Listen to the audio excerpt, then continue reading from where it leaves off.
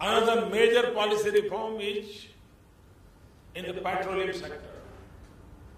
Under new hydrocarbon exploration licensing policy, there will be pricing and marketing freedom and a transparent revenue sharing methodology.